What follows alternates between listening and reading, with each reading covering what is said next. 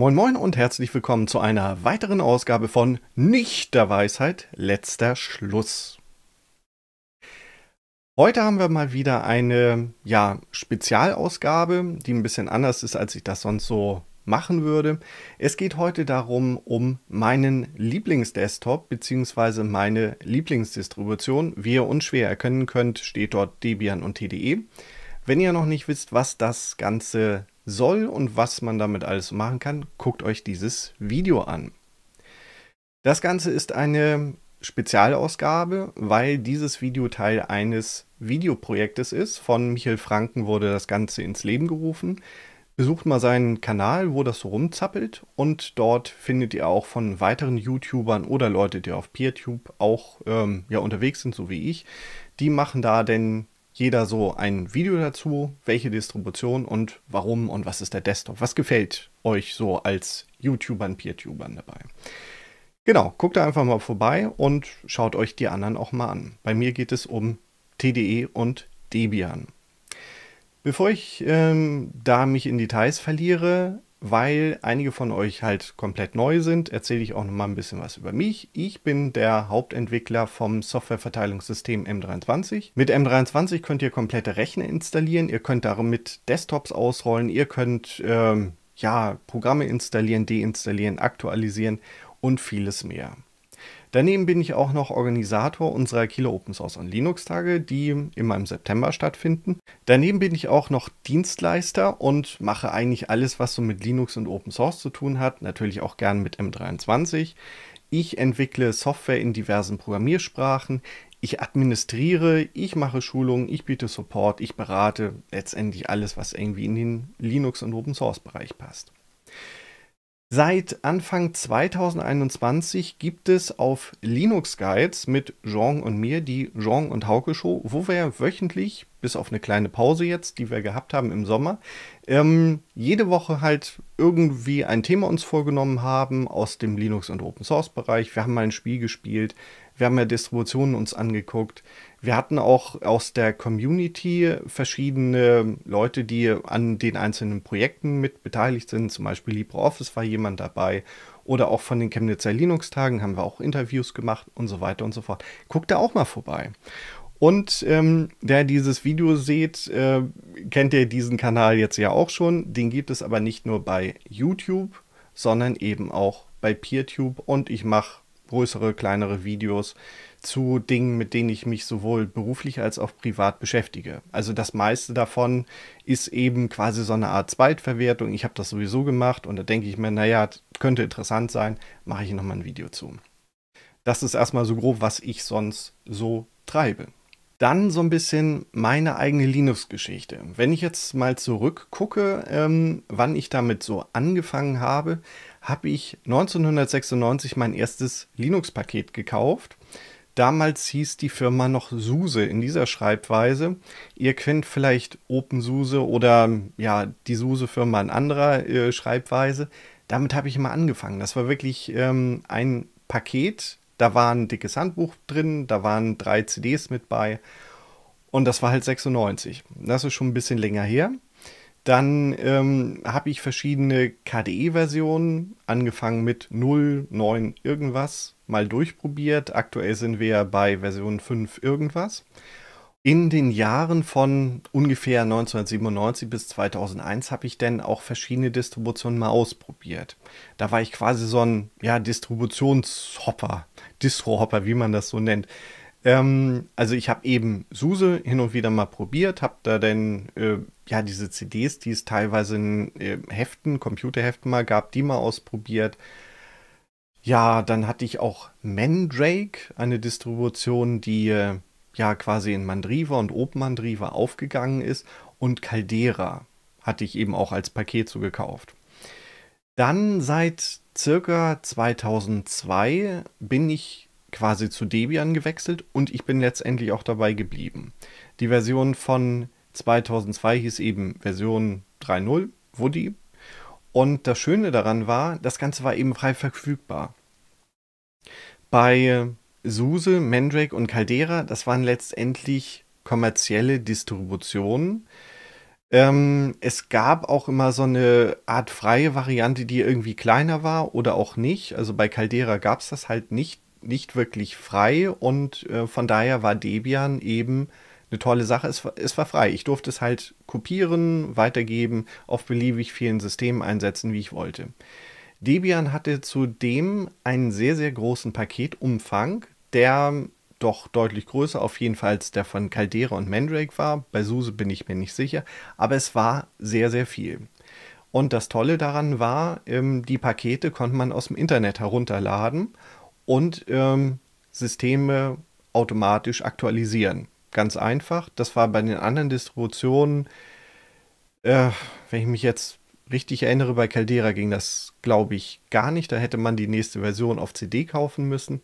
Mandrake, vielleicht SUSE, weiß ich nicht, ob es so funktioniert hätte. Und das Schöne an Debian ist auch, Debian gibt es halt für verschiedene Rechnerarchitekturen. Ihr habt letztendlich immer dieselbe Distribution, ob ihr jetzt so ein kleines Gerät wie so ein Raspberry Pi habt oder eben wirklich einen riesigen Server. Das ist immer derselbe Grundstock, also ihr findet euch sofort dort auch zu Hause. Das ist auch das Schöne dabei.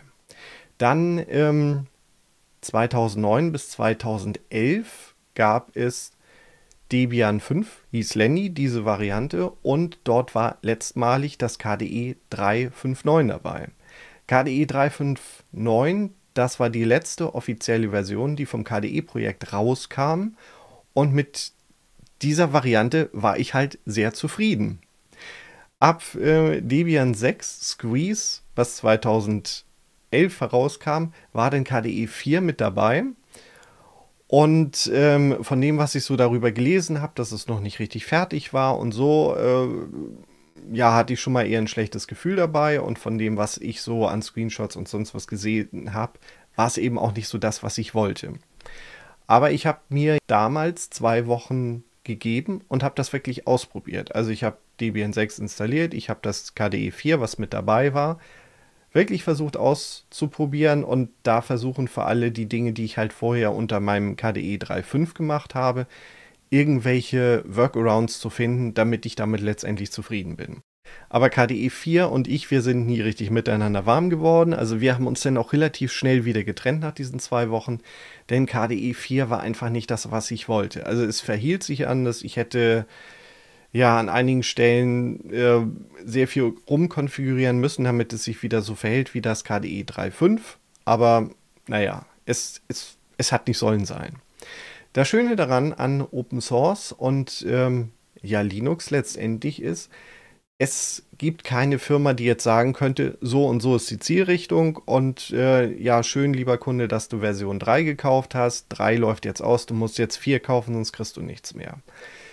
Das Tolle war eben, dass sich jemand gefunden hat und das Trinity Desktop Projekt gegründet hat und aus den Bestandteilen von diesem alten KDE 359 einen, einen Fork gemacht hat. Also diesen Quelltext genommen hat und darauf basierend eben dieses Trinity Desktop, was TDE heißt, entwickelt hat. Und diese TDE-Umgebung, die gibt es eben seit 2010 und sie wird jetzt immer und immer stetig weiterentwickelt. Also im Jahre 2021 gibt es immer noch ein aktuelles TDE, wo auch jeden Tag quasi noch was dran gemacht wird.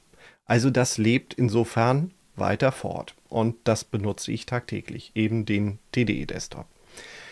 Dann äh, gibt es auch noch einen Hörtipp dazu. Beim Tuxflash im September 2021 war ich auch zu Gast und dort habe ich auch noch ein bisschen was erzählt über meine persönliche Linux-Geschichte. Falls euch das interessiert, hört einfach mal bei diesem Podcast rein, da wo es so blinkt. Jetzt habe ich ja schon relativ viel erzählt von dem, wie ich zu TDE und Debian letztendlich komme. Jetzt mal ein bisschen was zum Angucken. Ähm, was jetzt noch relativ klein ist, ist dieser Anmeldebildschirm für mein TDE. Und ich habe dann Testbenutzer, das Ganze läuft in Debian 11 und ich melde mich dort jetzt einmal an. Dieser Anmeldebildschirm, der ist relativ klein, aber naja, dann wird die Auflösung auch größer, wenn es richtig gestartet hat. Ich werde als erstes begrüßt mit ja, nützlichen Tipps, wie man Dinge machen kann. Guckt euch das vielleicht mal in Ruhe an, wenn euch das interessiert. Wenn ihr TDE noch nicht kennt, vieles davon ist heutzutage jetzt nun keine großartige Überraschung mehr. Es gibt zwar auch andere Desktops, wo Dinge äh, komplett anders funktionieren, also wie, wie GNOME oder so, wenn ihr von da aus kommt. Guckt euch die einfach nochmal ein bisschen durch, was da so drin steht. Wenn ihr von einem anderen KDE zum Beispiel kommt oder von Mate oder sonst was, werdet ihr nicht solche großen Überraschungen haben. Dann gibt es eben auch das TDE Hilfszentrum. Dort stehen auch noch ein paar nützliche Dinge drin. Da könnt ihr Sachen nachschlagen. Ihr könnt natürlich auch im Internet nachgucken. Wenn ihr gerade offline sein solltet, dann könnt ihr hier Dinge nachgucken. Ja, so sieht es erstmal aus. Wenig spektakulär das Ganze. Ähm, kommt einmal daher, dass es ja schon relativ alter Desktop ist von der, von der Basis und von der Ausrichtung her. Und damals waren die Ressourcen an RAM und CPU eben nicht so wie heute. Also das war viel, viel weniger. Und deswegen läuft es auch sehr, sehr flüssig auch auf alter Hardware oder auf dem Raspberry Pi. Dafür gibt es auch eine Variante, erzähle ich am Ende noch mal ein bisschen was drüber. Der TDE Desktop ist relativ klassisch aufgebaut. Also ihr habt links unten das TDE-Menü, wenn ihr dort draufklickt, habt ihr in verschiedene Kategorien einsortiert verschiedene Programme. Diese Programme müssen nicht unbedingt für DTE sein, äh, die können auch für andere ja, Desktop-Umgebungen geschrieben sein, also für GNOME, KDE 5 irgendwas oder eben auch Anwendungen, die nun nicht direkt zu einem Desktop gehören, sowas wie GIMP oder so. Das wird alles hier durch Debian letztendlich einsortiert. Je nachdem, was ihr auf eurem Debian installiert, habt ihr mehr oder weniger Einträge in diesen Menüs drin. Wenn ihr jetzt das Hintergrundbild ändern wollt, weil ja, blau ist vielleicht nicht jedermanns Sache, Rechtsklick und Arbeitsfläche einrichten wählen. Ja, man kann jetzt sagen, dass man vielleicht einen senkrechten Verlauf haben möchte aus hier zwei Farben oder man kann natürlich auch ein Bild auswählen. Und wie man an diesem ja äh, eher etwas gruseligen Hintergrund, ich wende das einmal kurz an, ja, es muss man mögen. Teile von diesen Hintergrundbildern sind eben relativ klein. Also das äh, Bild alleine würde jetzt bloß so viel ausmachen, aber man kann das Ganze jetzt quasi kacheln und wiederholen lassen hat den Hintergrund wiederum, äh, Speicher war damals, als TDE rauskam oder vielmehr das KDE 3.5 rauskam, war ähm, ja relativ teuer und halt nicht so vorhanden wie heutzutage. Also hat man an allen Stellen versucht, Speicher zu sparen. Eben auch beim Hintergrundbild nimmt man ein kleines Hintergrundbild und kachelt das. Aber es gibt natürlich auch andere, wo man, äh, ja, oder man kann hier eben auch sagen, äh, einmal hochskalieren oder es gibt auch, ja, auch mehr oder weniger schönere Bilder.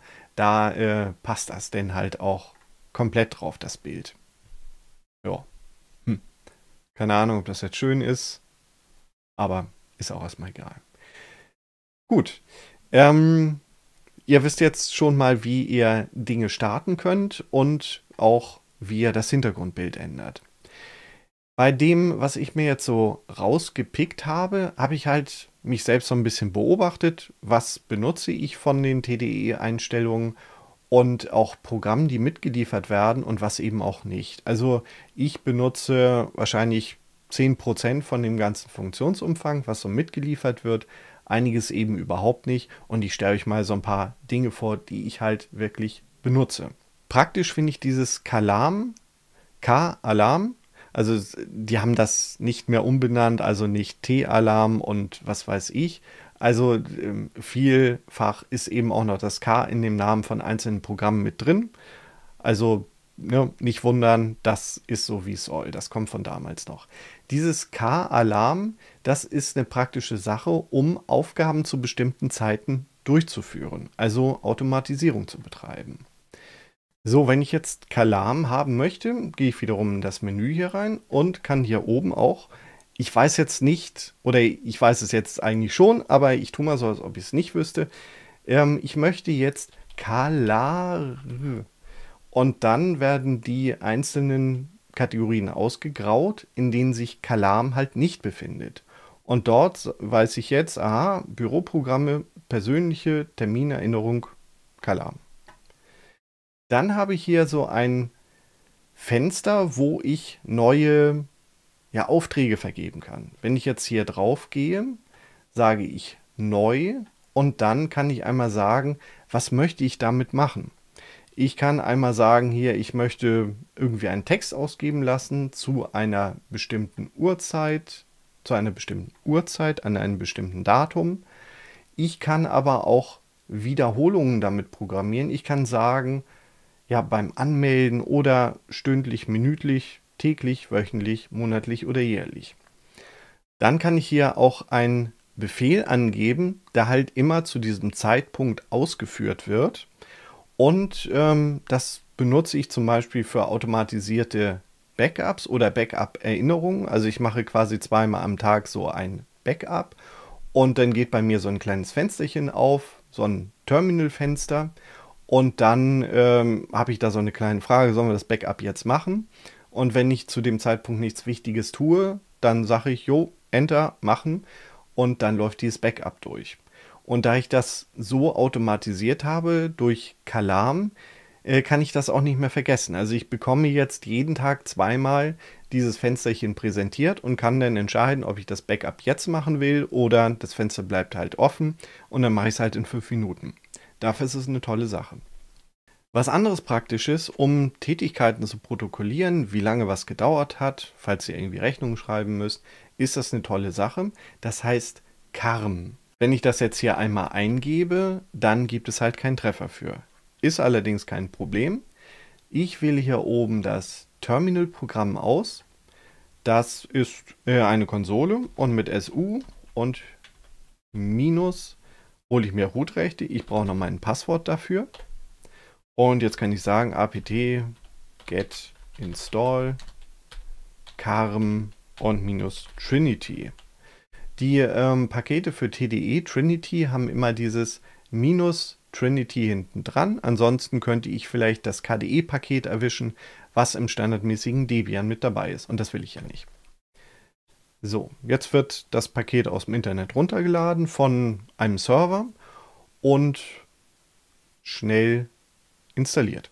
Das war es auch schon. Das ist eben das Schöne an, an dem Debian. Ich habe einen riesigen Paketumfang. Ich kann alles nachinstallieren, was ich möchte, auf beliebig vielen Maschinen, so, so wie ich das gerne haben möchte. Und äh, ja, gibt es zwar auch bei anderen Distributionen, aber bei Debian hat das sehr früh schon funktioniert. Das hat mich damals einfach, wow. Ähm, das geht, ja, es geht und es ging damals eben auch schon sehr, sehr gut und da hatten einige Distributionen damals eben noch Probleme und sehr viel Nachholbedarf. So, jetzt habe ich auch mein Karm. Das sieht jetzt wieder so ein bisschen ähnlich aus. Ich kann mir jetzt hier einen neuen Aufgabennamen erstellen. Wenn ich jetzt mache hier TDE vorführen und dann mache ich hier so eine neue Kategorie und dann kann ich hier diese Uhr laufen lassen. Da rotiert das eben. Ich kann dabei aber auch sagen, ich möchte eine neue Teilaufgabe machen. Jetzt kann ich sagen, Karm als Teilaufgabe, dann habe ich das da drunter und ich kann auch diese einzelnen Punkte noch bearbeiten. Wenn ich jetzt vergessen haben sollte, ich mache das jetzt schon fünf Minuten und ich habe vergessen, auf diesen, äh, ja, auf diesen Knopf hier zu drücken, dann kann ich auch hier fünf Minuten nachtragen und in der Gesamtsumme von all meinen Unterpunkten und dieser Hauptsitzung steht denn da die, die Gesamtsumme, wie lange das gedauert hat. So kann ich halt nach ähm, ja, einzelnen Kunden oder so pro Monat oder verschiedene Tätigkeiten das aufdröseln. Man kann ich sagen, naja gut, ich habe jetzt hier für Administration fünf Stunden gebraucht, für Beratung drei Stunden und was weiß ich. Und dann rechnet mir das, kam das auch sofort auf und ich kann das hier mitlaufen lassen und stoppt das denn, wenn ich was anderes tue, wenn ich eine andere Kategorie noch habe, die ich benutzen möchte, hüpfe ich da mit meinem ja, Auswahlbalken nach unten, nach oben, wo auch immer und habe das dann nachher sauber getrennt. Da kann ich genau sagen, ich habe so und so viele Minuten jetzt an dem Punkt gebraucht und so viel an dem. Und in diesem Monat war es jetzt so viel. Praktische Sache. Dann, äh, was anderes Praktisches sind diese Haftnotizen. Die heißen hier K-Notes. Die ähm, gibt es dort. Die sehen dann so aus und die tauchen dann auch hier unten auf. Ähm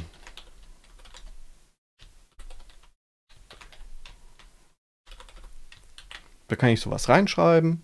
Dann kann ich die auch hier auf meinem Bildschirm ablegen. Ich kann die größer, kleiner machen.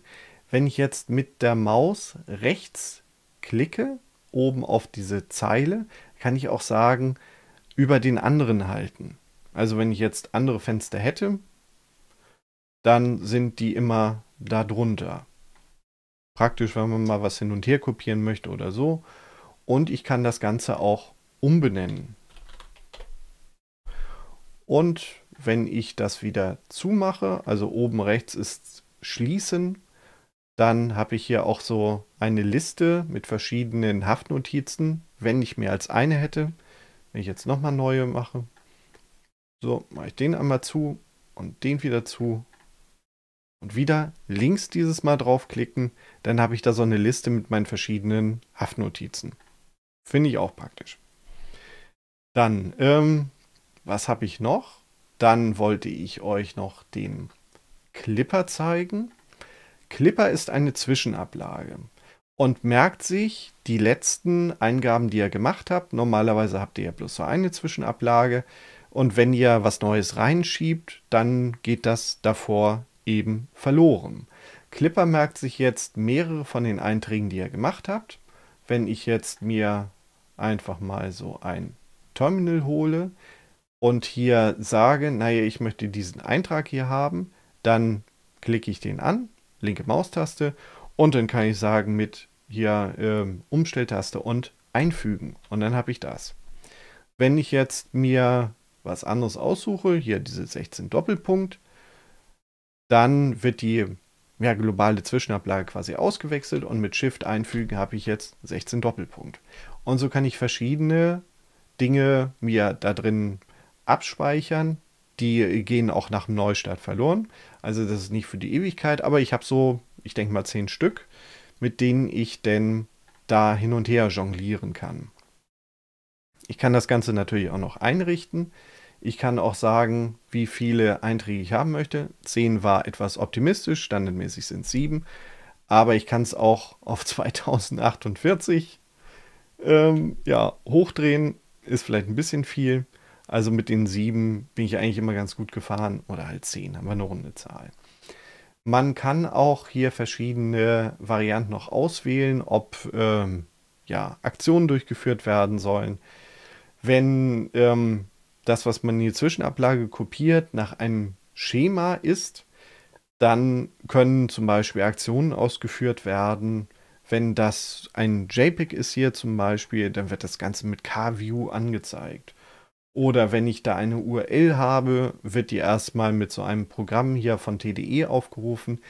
Höchstwahrscheinlich denn standardmäßig der Conqueror, das ist äh, ja ein Webbrowser, würde ich heutzutage nicht mehr empfehlen. Der mehr, ja, da kann nicht mehr viel an den heutigen Standards gemessen. Also da eher Finger weg. Oder sowas wie Kmail, so ein Mail-Programm, würde ich heute auch nicht mehr unbedingt benutzen. Aber da kann man eben solche Sachen auch automatisieren. Also da könnt ihr machen, immer wenn ich eine URL kopiere, wird mir die automatisch damit geöffnet. Und dann habe ich hier noch Kurzbefehle. Da kann ich noch eigene Tastencodes mir ausdenken. Ich wähle mir halt was aus und klicke dann dorthin und drücke dann die Tasten, die ich dafür haben möchte. Aber das möchte ich gar nicht. so, und ähm, nochmal wieder dazu, zu diesen Aktionen aktivieren. Damit würden diese Aktionen auch wirklich durchgeführt werden. Wenn ich was in die Zwischenablage kopiere, ist standardmäßig erstmal aus, kann man aktivieren. Ich benutze es nicht. Ja, aber ne, es gibt viele Optionen, die man unter TDE benutzen kann. Und ich finde, die Voreinstellungen machen für viele Umgebungen einfach Sinn, wie sie sind. Ansonsten kann man es an vielen Stellen eben auch so anpassen, wie man es gerne haben möchte. Das ist das Schöne dabei. Eine andere Sache, die ich ganz praktisch finde, da ich viel mit Texten und Quelltexten umgehe, gibt es ein Mini-Programm. Das ist der Kate Schnellöffner. Wenn ich hier jetzt draufklicke mit der rechten Maustaste, Mini-Programm hinzufügen, das Ganze einmal groß mache, dann gibt es hier Kate Sitzungsmenü. Dann ähm, kann ich mir hier ganz schnell ein Kate holen. Ich kann einmal sagen, ich möchte eine vorhandene Kate-Sitzung öffnen. Das ist, äh, ja, Kate ist letztendlich ein Texteditor, ähm, der auch sehr viele Funktionen hat, die ich gerne benutze. Und ähm, ich kann jetzt sagen, eine neue anonyme Sitzung. Dann wird mir diese Sitzung hinterher auch nicht gespeichert. Aber ich kann jetzt auch sagen, hier Sitzung speichern. TDE Test und dann könnte ich mir hier verschiedene Dateien öffnen. Dann mache ich das Ganze wieder zu. Und dann kann ich hier wiederum links draufklicken. Und dann muss ich manchmal auch hier Reload Session List machen. Und dann habe ich hier meine TDE Test Sitzung. Und dann hätte ich wieder genau die Sitzung, die ich halt vorher habe. So kann ich mir verschiedene Profile, Sitzungen anlegen und habe die hier mit einem ja, mit einem, zwei Mausklicks auch geöffnet. Ich kann auch, wenn ich ne, das Ganze nicht abspeichern möchte, jedes Mal sagen hier New Anonymous, Anonymous, New Anonymous Session, dann wird diese Setzung halt nicht gespeichert. Oder wenn ich jetzt hier sage New Kate Session, dann muss ich gleich am Anfang einen Namen eingeben. So zum Beispiel. Und dann hat das Ganze schon mal hier den Namen meiner Sitzung und das Ganze ist quasi auch schon als Sitzung vermerkt.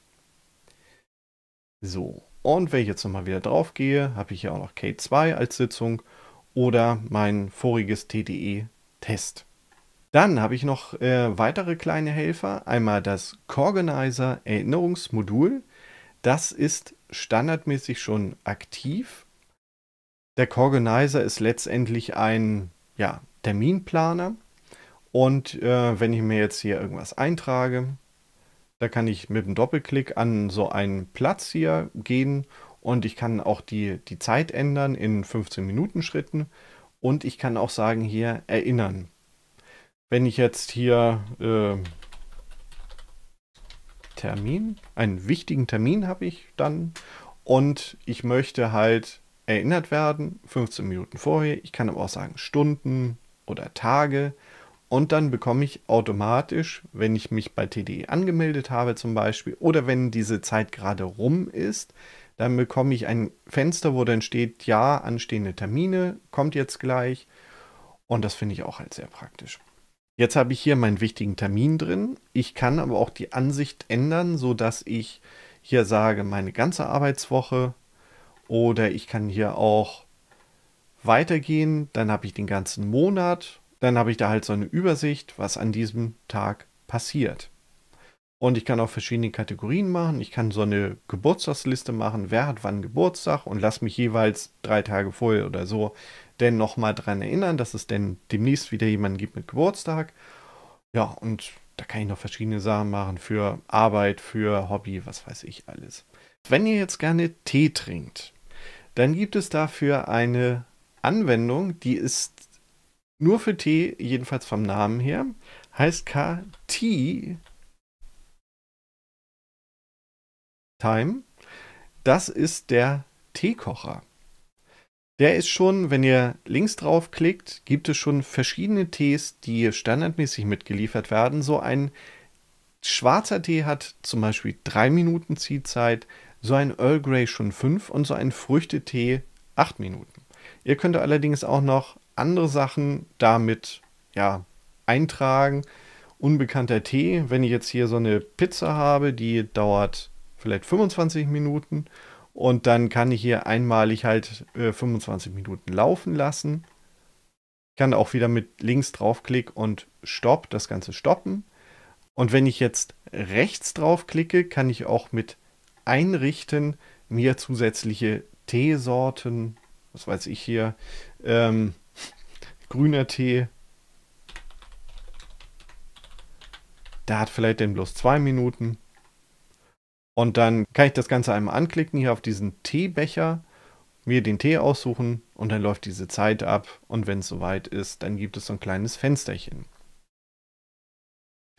So, das möchte ich jetzt gerade nicht. Der Tee ist schon fertig, der steht hier rum. Dann noch eine andere Sache, die auch praktisch ist, wenn ihr Mails verschlüsselt und mit GPG-Schlüsseln zu tun habt, gibt es dafür auch so ein kleines Mini-Programm. Das ist K KGPG. Upp. Da. Genau. Ich habe das hier auf dieser virtuellen Maschine, die ich jetzt gerade zum Präsentieren benutze, noch nicht verwendet. Also lasse ich einmal Einstellungen erzeugen. Dann legt mir das Ganze auch noch einen GPG-Schlüssel an. Kann mir dann auch noch aussuchen, was für eine Schlüssellänge ich haben möchte, mit welchem Verschlüsselungsalgorithmus das Ganze funktionieren sollte und kann mir jetzt ein neues Schlüsselpaar generieren. Und wenn ich jetzt von anderen Leuten die öffentlichen Schlüssel habe, kann ich die hier drin importieren und dann kann ich gucken, wann laufen die ab, von wem ist das ausgestellt, wie ist der Fingerabdruck und so weiter. Ist auch noch eine feine Sache. Nach den kleinen Helfern haben wir jetzt auch noch quasi ausgewachsene Anwendungen. Kate, diesen Texteditor, den habe ich ja schon mal kurz gezeigt. Ähm, damit kann man halt sehr viel noch einstellen, was ich halt wirklich benutze. Ich schreibe sehr viel Quelltext in äh, PHP oder Bash. Das Ganze kann allerdings auch ja, C, C++ und viele andere Programmiersprachen auch. So, gucken wir uns das Ganze jetzt nochmal richtig an. Also ich mache mir hier wieder eine neue Sitzung. Dieses Mal, ach, ich öffne diese Kate, Kate2-Sitzung. Wenn ich jetzt hier einen Standard PHP mache. Kurz und ohne großartig irgendwelche Spezialitäten. Echo, Test. Das Ganze einmal abspeichere. Mit SCG und S kann ich das einfach immer wieder speichern. Dann ähm, hat Kate auch gleich rausgefunden, aha, das wird äh, höchstwahrscheinlich ein äh, PHP sein dann machen wir doch auch schon mal die farbliche Hervorhebung für PHP-Quelltexte. Also dann sind solche Teile, die eben Bereiche quasi vorgeben, schwarz, Befehle sind blau und Texte sind dann halt rot. Und da gibt es dann noch andere ja, Variablen. Ist ein anderes Blau. Genau, also sowas, sowas macht Kate von sich aus schon. Jetzt möchte ich auch noch, dass mein Quelltext automatisch eingerichtet wird. Ich möchte, dass nachdem ich hier die Enter-Taste gedrückt habe, dass ich nicht wieder am Anfang lande, sondern hier eingerückt da starte. Das kann ich einmal ändern, indem ich sage hier Einstellungen, Kate einrichten und einmal groß machen. Ähm, unter Editor Einrückung und dann kann ich hier sagen Einrückungsmodus auf Normal setzen. Dann wird automatisch eingerückt, je nach Programmiersprache, wie es quasi vorgegeben ist in diesem Profil, was dahinterlegt ist.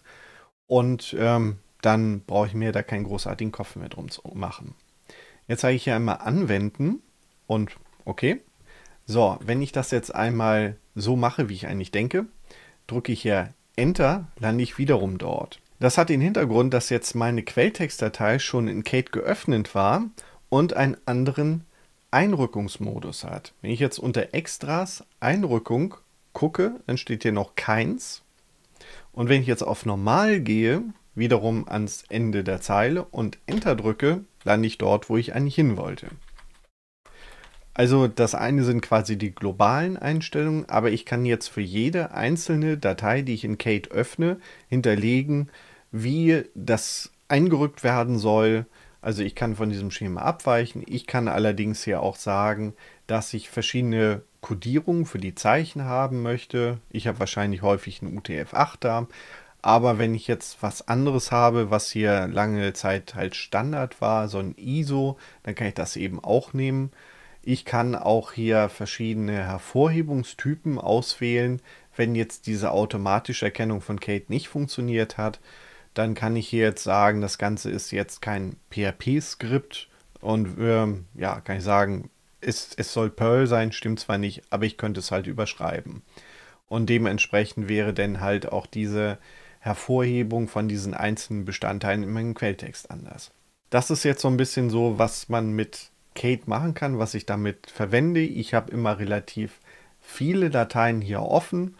Keine Ahnung, wie viel mögen das sein, 200 Stück oder so. Und dann kann ich da hin und her springen, kann meine Änderungen am Quelltext machen, kann das dann speichern und äh, ja, diese ganz normalen Funktionen, die so ein Texteditor mit drin hat, gibt es bei Kate eben auch. Ich kann hier Dinge ausschneiden, kopieren, einfügen. Ich kann auch diesen Blockauswahlmodus verwenden. Das ist manchmal ganz praktisch. Da kann ich jetzt so auswählen. Also ich wähle so ein Rechteck aus, denn normalerweise, wenn ich den jetzt ausmache, wähle ich ja immer innerhalb einer Zeile oder wenn ich jetzt in die nächste Zeile gehe, dann wähle ich halt so aus. Ist manchmal auch praktisch. Also in Kate schlummern sehr viele Funktionen, die äh, wirklich praktisch sind, die auch teilweise für Spezialfälle gedacht sind. Aber man findet relativ häufig was, was da drin ist. Und das Ganze ist eben schnell und kompakt. Also von daher nehme ich Kate immer noch wieder sehr gern. Also quasi tagtäglich für meine Texte und Quelltexte. Das möchte ich jetzt nicht speichern. Dann das nächste geht auch in die Richtung Text, hat aber einen anderen Fokus. Das ist Keil. Keil ist ein ja eine grafische Oberfläche für Tech. Tech ist ein Textsatzsystem. Wird sehr gerne genutzt für wissenschaftliche Arbeiten, wie man hier schon so sieht. Äh, mit Formeln kann man da eine Menge machen. Ähm, viele mathematische Arbeiten verwenden halt Tech, weil man da mit sehr gut mathematische Formeln machen kann. Oder eben auch im anderen wissenschaftlichen Bereich. Kann eine praktische Sache sein äh, damit Texte zu erstellen, ist äh, nicht so einfach auf den ersten äh, Blick. Man muss sich damit erstmal ein bisschen auseinandersetzen. Ähm, muss da auch wirklich ein bisschen Zeit reinfließen lassen, damit äh, man das so grundsätzlich versteht. Also man ähm, arbeitet nicht so wie LibreOffice, wo man sagt, ja, das ist jetzt ein äh, ein Absatz, der jetzt fett geschrieben werden soll und hier möchte ich nochmal was Kursives und so. Man programmiert das letztendlich so ein bisschen. Man gibt halt vor, wie, ähm, wie, wie man es quasi haben möchte. Es geht so in Richtung von HTML, ist aber komplexer. Und hinterher kompiliert man das Ganze. Also es wird quasi wirklich kompiliert von diesem Quelltext, der so aussieht, zu einem PDF. Und Tech äh, sorgt dafür, dass das auch sehr gefällig aussieht. Und das Ganze ist auch sehr stabil. Wenn ihr sehr umfangreiche Werke damit erstellen wollt, dann äh, braucht ihr keine Angst zu haben, dass es irgendwie abstürzt oder kaputt geht. Das ist sowas, was man wirklich nimmt, wenn man einen größeren Umfang an Seiten hat und sich nicht mit ähm, ja, so einer normalen Textverarbeitung und den äh, teilweise Grausamkeiten mit rumschlagen möchte. Mit Tech ähm, habe ich auch meine Diplomarbeit geschrieben oder eben auch vieles von der M23-Dokumentation wird mit Tech gemacht, weil es halt irgendwie nett aussieht und weil es wirklich sehr stabil ist. Wenn ihr euch mit Tech auseinandersetzen möchtet, dann solltet ihr euch das auf jeden Fall mal angucken. Und wenn euch TDE soweit gefallen hat, dann solltet ihr auch Keil eine Chance geben. Da sind viele Sachen, die einfach das Leben einfacher machen. Jetzt, wenn ich jetzt hier sage, Section wäre so ein, so ein Absatz, so ein Abschnitt, ähm, heißt einfach mal Test und dann möchte ich Fettdruck, kann ich das Ganze markieren und hier oben auf das B klicken und dann werden jetzt hier diese Parameter für Fettdruck da eingefügt. Kann ich das Ganze auch noch speichern, kompilieren und habe hinterher mein PDF. Aber wie gesagt, das dauert, bis man sich da so ein bisschen eingefuchst hat. Aber es lohnt sich für größere Projekte auf jeden Fall. So, nachdem Keil und Tech doch sehr speziell sind, was, was eher mehr Leute gebrauchen können. Das ist GwenView, ein Bildbetrachter. Die Icons bauen sich irgendwie hier in meiner virtuellen Maschine nicht richtig auf, also gehe ich da einfach kurz mit der Maus drüber. Und ich habe hier so einzelne Bereiche. Ich kann jetzt ähm, mir ein Verzeichnis hier aussuchen. Ich kann das aber auch dort aussuchen. Hier in diesem Bereich finde ich die Vorschau. Dort habe ich meinen Verzeichnisbaum und hier unten wird mir denn das Bild angezeigt. Ich kann jetzt da hin und her springen. Aktuell bin ich in meinem eigenen Verzeichnis, was mein Benutzer, in diesem Fall Test gehört. Und wenn ich jetzt hier mit aufwärts gehe, hangel ich mich in dem Verzeichnisbaum einfach weiter nach oben. Unter Opt, Trinity, Share und Wallpapers sind denn die Hintergrundbilder. Und ähm, da habe ich einmal rechts so eine kleine Vorschau mit den einzelnen Bildern. Da kann ich jetzt die Ansicht auch noch ein bisschen ändern. Ich kann auch noch sagen, diese Vorschaubilder, die sollen etwas größer werden. Kann ich da schnell durchblättern. Wenn mir eins gefällt, kann ich draufklicken und dann habe ich das links. Ich kann allerdings auch diese einzelnen Bereiche hier anpassen. Also diesen Verzeichnisbaum, den brauche ich eigentlich nicht wirklich. Ich kann jetzt hier sagen, weg damit. Dann ist der schon mal weg. Und äh, dann habe ich hier links mein Fenster, was mir das Bild wirklich anzeigt. Dann kann ich mir das Ganze auch noch im Vollbildmodus ansehen. Dann gehe ich hier einfach oben drauf und dann kann ich mit der Leertaste durch die einzelnen Bilder durchgehen. Wenn ich jetzt in dem Verzeichnis was anderes drin habe, sieht es nicht nach einem Bild aus, aber da kommt ein Bild, da keins, da kommt eins, zwei. Genau. Und wenn ich wieder Escape drücke, dann bin ich wieder zurück in meiner Ansicht. Aber ja, das habe ich so noch nicht gesehen, dass es in der VM irgendwie anders ist, dass die Icons kaputt sind. Bei mir ist das nicht so. Genau, das ist eben der GwenView Bildbetrachter. Eine andere praktische Sache ist mein äh, Crusader, den ich auch immer sehr gerne benutze. Das ist ein zwei Spalten Dateimanager. Falls ihr von ganz, ganz früher vielleicht noch den Norton Commander kennt oder einen von diesen diversen Klonen, werdet ihr euch grob dort zurechtfinden. Oder äh, Total Commander gibt es für Windows verschiedene Versionen. Das ist eben so ein Zwei-Spalten Dateimanager. Wenn ich den Crusader noch nicht eingerichtet habe, dann werde ich am Anfang erstmal alles Mögliche gefragt. Ich kann das ändern. Aber jetzt hier zum Zeigen reicht mir das eigentlich. Denn ich habe hier jetzt meine zwei Spalten Ansicht, also mit zwei Verzeichnissen. Ich starte in meinem eigenen Home-Verzeichnis, aber ich kann jetzt entweder mit der Maus irgendwo hinklicken auf die Punkte, dann komme ich eine Ebene nach oben oder wenn ich auf den Verzeichnisnamen klicke, dann komme ich eine Ebene weiter runter. Hier unten habe ich noch verschiedene Funktionstasten aufgelistet. Wenn ich jetzt F2 drücke, bekomme ich im aktuellen Verzeichnis, also in diesem Fall meinem Home-Verzeichnis, gekennzeichnet durch die Tilde, eine neue Shell geöffnet, kann damit machen, was ich denn auch immer möchte. Wenn ich jetzt ein anderes Verzeichnis habe, hier, da habe ich mein Test-Skript drin, da den F2 drücke, dann bin ich unter dem Dokumente-Ordner. Ich kann mir auch direkt Dinge anzeigen lassen. Dann gehe ich auf den Namen von der jeweiligen Datei und drücke F3. Dann wird das Ganze mir angezeigt. Ich kann, wenn ich hier rumtippe, kann ich es nicht editieren. Es ist eben wirklich bloß eine Anzeige, nur zum Sehen. Wenn ich jetzt hingegen F4 drücke, kann ich das Ganze auch bearbeiten.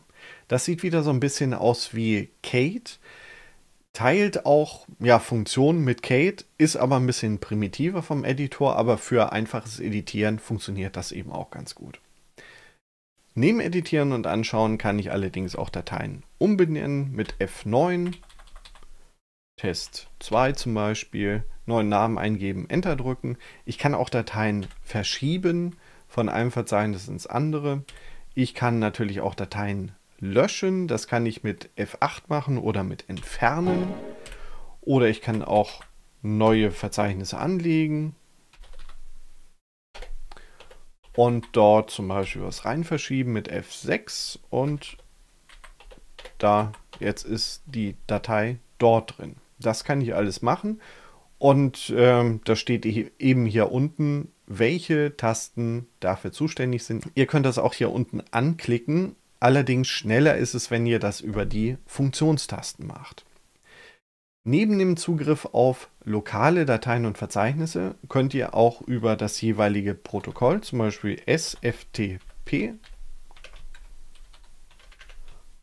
dann ähm, Hostnamen, also keine Ahnung, Server innerhalb von eurem Netzwerk, Verzeichnis und dann könntet ihr da reingucken. Äh, für Systeme, die kein SFTP haben, gibt es Fish. Das ist eine ähm, andere Variante, die eben geht, wenn man bloß einen SSH-Server dort hat. Und Localhost wäre ich quasi selbst. Gebe ich so ein, drücke Enter. Jetzt muss ich ein Passwort für den Benutzer, also ich bin als Test angemeldet, ich habe keinen anderen angegeben, also wird erstmal Test auch angenommen für meine Zielverbindung. So, und jetzt verbinde ich mich damit und jetzt kann ich wiederum auf meinen Verzeichnisbaum dieses Mal allerdings übers interne Netzwerk wiederum zugreifen. Aber wie gesagt, geht auch mit anderen Systemen. Und ihr könnt auch solche Sachen machen hier wie SMB, Zugriff auf Samba oder NFS geht, glaube ich, auch. Also da gibt es verschiedene Varianten, was ihr dort machen könnt. Und dann haben wir hier noch so ein, äh, ja, so ein Icon zum Anzeigen von verfügbaren Geräten. Wenn ihr jetzt irgendwelche zusätzlichen USB-Sticks drin habt oder hier ist noch diese Gasterweiterungs-CD von VirtualBox drin, dann könnt ihr damit mit so einem Klick auch auf das jeweilige Laufwerk zugreifen. Crusader ist ja eine praktische Sache, wenn man einzelne Dateien umbenennen möchte. Das geht über F9. Wenn ich jetzt aber mehrere Dateien habe, die ich automatisch umbenennen möchte, ich mache mir jetzt hier einfach mal ein paar Kopien von der Test, T2, PHP und wenn nochmal eine dritte. Wenn ich die jetzt alle umbenennen möchte nach einem anderen Schema, dann kann ich die hier markieren, einfach über einfügen und sage jetzt hier Umschalttaste und F9. Also nicht F9 für einzelnes Umbenennen, sondern halt Umbenennen für viele mit. Ja, und wenn man es zu lange drückt, dann bekommt man hier auch noch ähm, ja, äh, Zusatzmöglichkeit, falls man nicht so gut mit den Tasten umgehen kann. Ähm, ja, für Behinderte, denke ich mal, ist es gedacht. Dann gibt es auch noch diese TDE-Zugangshilfen. Möchte ich jetzt nicht abbrechen. Genau, so. Äh, Umschalttaste F9 drücken und dann öffnet sich hier Car Rename. Damit habe ich jetzt diese drei Dateien, die ich markiert habe, hier drin. Und jetzt kann ich dort verschiedene Dinge mitmachen. Wenn ich jetzt einfach möchte, dass die durchbenannt werden, kann ich jetzt Raute machen. Raute ist einfach fortlaufende Nummer. Wenn ich jetzt eine, wenn ich jetzt eine zweistellige Nummer einmal haben möchte, mache ich zwei Rauten oder drei für drei. Da kann ich noch dazu schreiben Test und so kann ich Dinge halt umbenennen. Es gibt allerdings auch viele andere Möglichkeiten, was ich noch damit machen kann. Ich kann zum Beispiel hier Bereiche mit diesen eckigen Klammern angeben. Wenn ich jetzt den ersten und den zweiten Buchstaben erhalten möchte, dann sage ich hier jetzt Buchstabe 1 bis Buchstabe 2 und da kann ich jetzt hier auch noch eine fortlaufende Nummer machen oder vielleicht noch ein Minus dazwischen und da kann ich halt sehr vieles mitmachen.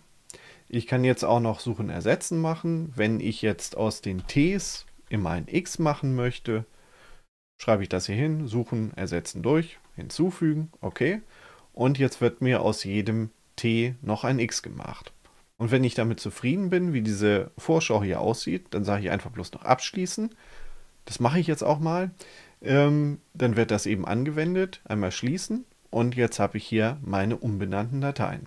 Praktische Sache. Eine andere praktische Anwendung, die ich auch schon mal so vorgeführt habe, ist hier das Terminal-Programm, die Konsole mit K. Die kann ich natürlich TDE-typisch auch weit konfigurieren. Ich kann mir hier die Schriftart auswählen, ich kann die Schrift vergrößern, ich kann auch ähm, vorgeben, dass ich ein anderes, na, ein anderes Farbschema haben möchte.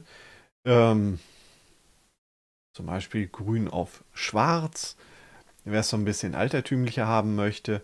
Und äh, bei dem Ganzen, wenn ich jetzt hier mir einfach mal was ausgeben lasse, also mein Verzeichnis anzeigen lasse, kann ich auch hier hinklicken, zum Beispiel auf Schreibtisch. Und wenn ich jetzt einen Doppelklick mache, ist das Wort auch eben ausgewählt. Und mit der mittleren Maustaste bzw. dem Scrollrad, wenn ich da drauf drücke, dann kann ich das Ganze auch wieder einfügen.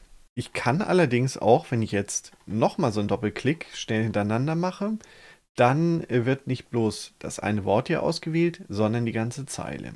Wenn ich jetzt schon relativ lange mit dieser Konsole gearbeitet habe, in einer längeren Sitzung, und äh, mir diese Ergebnisse, was da rausgekommen ist, äh, nochmal abspeichern möchte, ich mache jetzt einfach mal hier so ein, so ein Find und das listet Dateien und Verzeichnisse innerhalb von meinem System auf. Und dann habe ich hier sehr viele Einträge. Die Konsole speichert standardmäßig halt 1000 Einträge, also 1000 Zeilen. Ich kann das allerdings auch ändern, indem ich hier sage Einstellung Verlaufsspeicher und äh, nicht Anzahl der Zeilen auf 1000, sondern unbegrenzt mache. Dann geht nichts mehr verloren. Ich kann jetzt diese ganze Ausgabe auch einmal speichern über Bearbeiten, Verlaufsspeicher, Speichern unter und das Ganze einmal einmal speichern. Und dann habe ich so eine Textdatei, in der das ganze Zeugs, was hier so auf dem Bildschirm letztendlich gestanden hat, auch drin steht. So, und wenn ich dann nochmal gucke, da Verlauf in der Datei, da steht das auch wirklich alles drin. Da kann ich das Ganze nochmal dokumentieren und dort stehen eben auch nicht nur die Befehle, die ich selbst eingegeben habe, drin, sondern auch die Ausgaben von den jeweiligen Programmen. Jetzt habe ich so ein paar Programme gezeigt und so ein paar Funktionen, die ich so tagtäglich benutze und ein paar Sachen eben auch eben nicht so häufig. Darum musste ich zum Teil auch noch mal ein bisschen suchen, weil äh, da stelle ich einmal ein und dann bleibt es da in meinem System halt drin, ja, ewig quasi. Von daher einmal eingestellt und wieder vergessen. Man kann das ganze TDE-System sehr gut konfigurieren. Man kann da zum Beispiel festlegen, wie Dateizuordnungen mit Programmen verknüpft werden sollen. Ich kann jetzt in dem Kontrollzentrum, dem Trinity Kontrollzentrum zum Beispiel festlegen, dass ich ja MKV-Dateien mit dem MPV-Player abspielen möchte. Ich kann allerdings auch Desktop-Themen wählen, sodass das Ganze optisch ein bisschen anders ist. Und ich kann auch konfigurieren, wie mit eingelegten Medien umgegangen werden soll. Das schauen wir uns jetzt nochmal ein bisschen genauer an. Also, dafür haben wir das Kontrollzentrum. Das steht hier unten drin. Man kann entweder in die einzelnen Kategorien gehen oder quasi die Hauptanwendung öffnen. Dann haben wir hier auf der linken Seite so ein ja, so einen Baum kann man wiederum ausklappen. Dort gibt es ja verschiedene Designs mit Vorschaubildern, mit hohem Kontrast, mit wenig Kontrast. Ähm, ja, wenn man das Ganze jetzt einmal anwendet, dann dauert das ein bisschen und dann sieht das eben auch anders aus. Dann gibt es hier sowas. Dann sieht das wieder ein bisschen anders aus. Man kann natürlich auch sowas hier nehmen, wenn man es denn mag. Und dann ja, wird das so ein bisschen äh, angepasst mit den Farben und, und mit, mit diesen Buttons. Die sehen dann halt anders aus. So, aber. Und auch die Statusanzeigen. Also da ändert sich relativ viel an diesem Thema. Man kann hier auch verschiedene Farbkonfigurationen. Da gibt es halt ja vordefinierte, mehr oder weniger hübsch, muss man wissen, was man mag. Ich lasse das erstmal so, wie es ist. Verwerfen. Dann kann man auch noch einstellen, wie, ja, wie, die, wie die Fensterdekoration sein soll. Ja. Und wie die Knöpfe sein sollen. Und man kann da sehr viel rumkonfigurieren, wie man das gerne haben möchte. Man kann viel Zeit damit verbringen, muss man wissen, ob einem die Zeit halt wert ist oder nicht. So, dann zu eher was praktischeren, die Dateizuordnung. Man kann hier oben ein Stichwort eingeben und dann bekommt man hier drunter halt Passer. Dateizuordnung ist passendes Stichwort und dann gibt es hier unten die verschiedenen Kategorien, ist zweimal dasselbe, warum auch immer, ähm, in der man das Ganze einstellen kann. Jetzt kann ich hier gucken nach verschiedenen Audiotypen. AC3 zum Beispiel ist überhaupt kein Player hinterlegt, weil ich noch nicht so viel drauf habe. Aber wenn ich jetzt hier nach MKV suche, dann gibt es hier schon mal einen Eintrag für, dass es so eine Matroschka-Datei ist, aber es gibt eben auch noch keinen Player, der damit irgendwie verknüpft wäre. Müsste ich erstmal überhaupt einen installieren. Wenn ich jetzt einen VLC installiere und ähm, vielleicht so ein, so ein Xine und so ein MPV, dann würden die hier alle drin stehen und dann kann ich über Prioritäten festlegen, ich möchte das aber standardmäßig jetzt nicht mit äh, VLC, sondern mit MPV öffnen. Oder wenn ich jetzt noch einen Videoeditor drin habe, da mogelt sich vielleicht auch da mit rein in diese Liste, so dass ähm, denn das Programm, was an der ersten Stelle steht, automatisch beim Druck auf Enter oder Doppelklick auf diese Datei, denn diese Datei damit öffnet. Das kann manchmal äh, eine gute Wahl sein, die die Hersteller halt von den einzelnen Programmen haben. Oder äh, das kann auch so sein, dass da Sachen vorne sind, die ich nun nicht gerne hätte.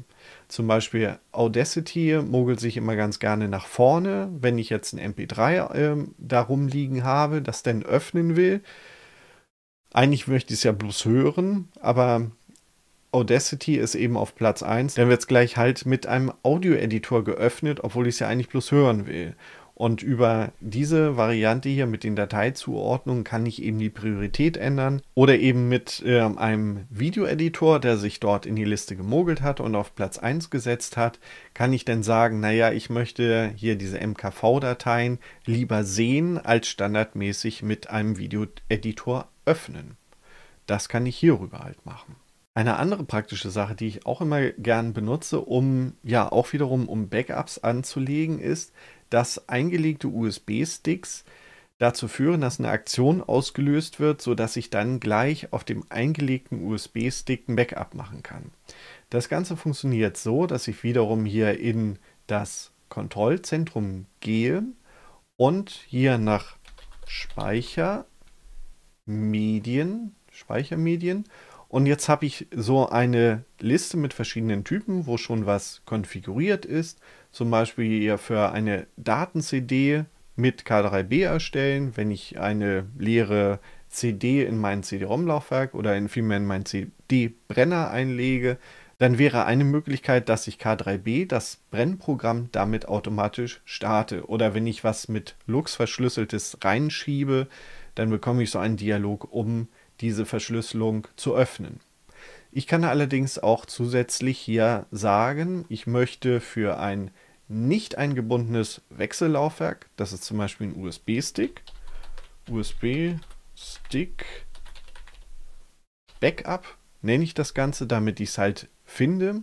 Und dann ähm, kann ich hier angeben, womit ich das Ganze öffnen möchte. Also Conqueror ist dieser Dateimanager, dieser Webbrowser von Trinity. Und ich kann auch was anderes nehmen. Wenn ich jetzt hier mache, bin mein Backup script.sh, dann würde dort, wenn ich das auswähle, nachdem ich den USB-Stick eingeschoben habe, würde dieses Backup-Skript laufen und als Parameter würde jetzt auch der Mountpunkt von diesem USB-Stick dort stehen. Also das Skript würde als Parameter den Mountpunkt mitbekommen und dann könnte ich das Backup laufen lassen. Dann habe ich das hier in der Liste drin. Und das ist eben auch so eine Arbeitserleichterung. Dann poppt hier unten so ein, so ein, kleiner, so ein kleines Icon auf und dann kann ich eben auswählen, was ich damit machen möchte. Ja, finde ich auch sehr praktisch. Dann äh, gibt es auch noch hier Netzwerkeinstellungen. Das ist letztendlich eine kleine Oberfläche für den Network Manager. Die virtuelle Maschine ist äh, anders verwaltet, darum ist ja auch so dieses, dieses Kreuz. Aber ich kann hier auch sagen, ich kann neue Verbindungen erstellen und äh, ja, manuell eine IP-Adresse vergeben. Ich kann DHCP darüber machen. Ich kann äh, auch WLAN-Verbindungen darüber konfigurieren. Ist äh, eben die Variante von TDE für den Network Manager, eine Oberfläche dafür, so wie viele andere Desktops sowas eben auch haben. Ja, so einfach, so unspektakulär. Gibt es wahrscheinlich unter anderen Desktops auch. Ähm, ich kenne mich da nicht wirklich aus, ob es das auch so gibt. Aber unter TDE kann man eben Fenster sehr genau konfigurieren. Wenn ich mir jetzt wiederum meine K2-Sitzung hier nehme, habe ich einmal so das normale Fenster, was ich so verschieben kann. Wenn ich jetzt hier auf dieses Icon klicke, dann kriege ich ein zusätzliches Menü und dort finde ich unter Erweitert wiederum die ist immer im Vordergrund. Das hatten wir schon bei den Haftnotizen. Oder ich kann auch sagen, dass keine Umrandung, also die Fensterdekoration soll weg sein. Das mache ich einmal und wie hier auch steht, Alt F3, damit komme ich dort wieder hin. Wenn ich jetzt Alt F3 drücke, weil hier oben ist das Icon jetzt ja weg, dann habe ich wiederum dieses Menü und jetzt kann ich das wieder abhaken und jetzt habe ich es wieder da. Ich kann jetzt allerdings auch hier drauf gehen und wiederum erweitert spezielle Einstellungen für dieses Fenster oder für dieses Programm. Da kann ich jetzt für quasi für Kate als ja, als Programm, also allgemein festlegen, wie sich das Fenster verhalten soll oder ich kann jetzt für dieses spezielle Fenster, was ich jetzt vor mir habe, Einstellungen machen. Wenn ich da drauf gehe, kann ich einmal hier sagen, wie äh, die Position sein soll. Ich kann jetzt sagen, erzwingen. Dann wird die Position einfach festgenagelt. Also ist einmal runtergeflutscht zu dem Punkt. Und wenn ich jetzt klicke und ziehe, geht da nichts. Also das ist jetzt wirklich festgenagelt. Ich kann es auch noch einrollen mit dem Doppelklick. Ich kann auch noch die Größe ändern, aber ich bekomme da das Fenster nicht verschoben. Wenn ich jetzt wieder drauf gehe und für dieses Fenster das einstelle, das wiederum wegnehme, dann äh, lässt sich das Ganze auch wieder normal verschieben. Ich kann auch viele weitere Dinge damit einstellen für dieses Fenster. Ich kann die Position, die Größe kann ich fest einstellen. Ich kann auch sagen, dass es waagerecht und senkrecht äh, maximiert werden soll. Ich kann Vollbild damit machen und so weiter und so fort. Und dann habe ich noch persönliche Einstellungen. Immer im Vordergrund, Hintergrund halten, ohne Umrandung. Ist vielleicht praktisch für ähm, ja, Remote Desktop, dafür benutze ich das. Da kann ich dann sagen, hier ohne Umrandung, damit ich die Fensterdekoration von diesem ja, Remote Desktop Fenster schon mal los. Und dann sage ich ja auch noch waagerecht und senkrecht maximieren. Und dann füllt das eben den freien Platz aus, den ich zur Verfügung habe. Das Einzige, was denn noch da ist, ist eben diese Zeile hier mit dem Menü und mit meinen geöffneten Fenstern, dem Menüprogramm und so weiter. Das wird nicht überdeckt bei hier waagerecht und senkrecht maximiert, aber der Rest halt eben. Und wenn ich jetzt hier noch, ich mache das einmal so, dann habe ich hier quasi den ganzen Bildschirm mit meinem Remote Desktop ausgefüllt und ähm, habe das Maximum an Arbeitsplatz gewonnen, was da so geht. Wieder Alt F3 und aus. Okay. Gut. Das ist vielleicht so eine Spezialität von TDE, dass man das sehr genau einstellen kann. Und vor allem TDE merkt sich das Ganze auch im Hintergrund, sodass, wenn man das Fenster jetzt schließt und wenn man das Programm jetzt nochmal wieder neu startet, dann sind diese Einstellungen mit dem Fensterverhalten auch wieder da, wenn man das Ganze jetzt auf Erzwingen gesetzt hat. Und in dem TDE-Kontrollzentrum kann man das Ganze auch noch sich wiederum angucken, wo ähm, ja, also wenn da schon irgendwelche Einstellungen gesetzt sind, da gucke ich denn Fenster-spezifische Einstellungen, da ist es schon. Und da unten, und da sind schon so ein paar Standards gesetzt, die habe ich alle nicht eingetragen. Und dort steht zum Beispiel drin, dass für ja, System, Modal, Dialog Class, also modal sind Dialoge, die äh, die komplette Aufmerksamkeit des Benutzers auf sich ziehen. Die kriegt man auch nicht weggeklickt. bis, äh, äh, ja, bis man den Dialog halt beendet hat. Und äh, da stehen halt solche Sachen drin. Und wenn ich jetzt eigene Einstellungen gemacht hätte für meine eigenen Fenster, dann würden die hier drin auftauchen. Dann kann ich die auch hinterher löschen oder kann die ändern und sonst was damit. Ja, das mit Alt und F3 habe ich euch ja schon gezeigt. Das solltet ihr euch wirklich merken. Äh, als Tastenkombination, wenn ihr erstmal die Umrandung weggemacht äh, habt, dann kommt ihr dann nicht so einfach mehr hin. Praktisch ist auch noch Alt F2, das gibt es bei anderen Desktops auch. Damit könnt ihr Programme starten oder auch direkt so einen minimalen Taschenrechner habt ihr dann auch.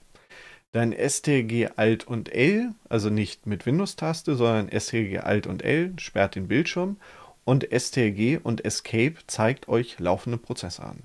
Das Ganze jetzt auch nochmal in, quasi bunt. So, Alt F2, da kriege ich hier so eine, ja, relativ schlicht. Ähm, Befehl ausführen. Ich habe hier schon einmal Crusader mitgestartet, darum steht das hier in der Liste drin. Ich kann allerdings hier auch sagen, äh, dass nicht nur das, was ich schon mal eingegeben habe, drin steht, sondern auch Autovervollständigung für vorhandene Programme. Also wenn ich jetzt sage Gvenue, dann habe ich dort das schon mal drin.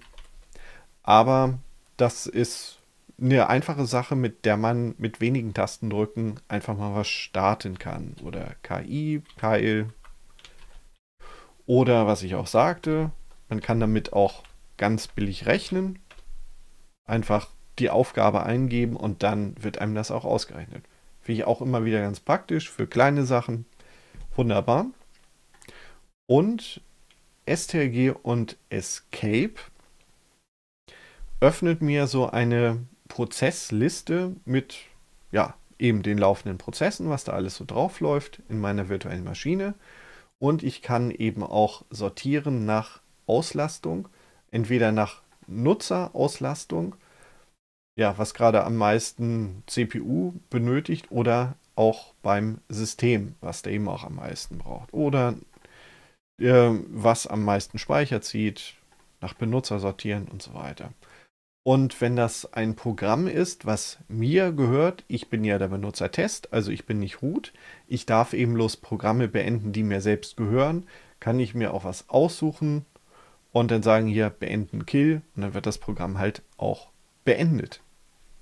Ja, das war es letztendlich schon mit ähm, ja, dem, was ich so zeigen wollte. Ihr könnt TDE selbst relativ einfach ausprobieren. Da gibt es dieses Q4OS, da wo es so blinkt, da ist ein Link hinter. Q4OS könnt ihr auf relativ betagten 32-Bit-CPUs, die ihr vielleicht noch irgendwo rumliegen habt, installieren oder eben auch auf aktuellen Systemen mit 64-Bit. In der Dokumentation von äh, Trinity steht drin, dass CPUs mit 300 MHz schon ausreichen sollen und 256 MB RAM. Ich weiß nicht, ob das wirklich so gut hinkommt, denn Debian installiert ja doch schon ein bisschen mehr, was auch wieder ein bisschen mehr Speicher braucht und so weiter. Ähm, keine Ahnung, probiert es einfach mal aus, ob es klappt, wenn euch das interessiert. Und ähm, man kann das Ganze auch auf einem Raspberry Pi installieren. Ab Version 2, der ja auch schon ein paar Jahre alt ist. Dazu habe ich auch schon mal ein kleines Video gemacht, ähm, wobei ich das Ganze auf dem äh, ja, hier Pi 400, also dieser mit integrierter Tastatur und, und so weiter, diese, ja, ja, ist eine andere Serie, aber letztendlich sowas ähnliches, habe ich auch schon mal gemacht.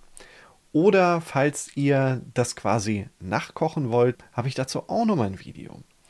Dort installiere ich auf einem Debian 11, was ich hier jetzt auch in der virtuellen Maschine habe, das TDE nach, denn TDE selbst ist nicht Bestandteil von Debian. Da muss man eben zusätzliche Paketquellen einbinden und kann diese Pakete einfach installieren. Ist nicht großartig schwierig. Guckt euch das mal an, bastelt das nach, was ich dort gemacht habe. Das war es letztendlich auch schon, was ich so ein bisschen euch zeigen wollte. Das sind Dinge, die ich überwiegend selbst benutze in der Art und Weise. Es gibt bestimmt noch sehr, sehr viel bei TDE zu entdecken. Das kann ich jetzt äh, so nicht äh, leisten in diesem Video. Aber ähm, jede Woche werde ich versuchen, weitere Videos zu produzieren zu allen möglichen Dingen, die mir so begegnen, womit ich mich halt beruflich oder privat auseinandersetze. Das können kurze Dinge sein, das können äh, ja interessante Kleinigkeiten sein, das können aber auch komplizierte Problemlösungen sein, an denen ich mich versucht und die ich auch irgendwie gelöst habe. Das ist eine ganze Menge, was es so in diesem Kanal gibt. Das ist eine bunte Mischung aus verschiedenem Zeugs. Wenn euch das prinzipiell interessiert, abonniert einfach, schaut mal wieder vorbei und äh, bis dann.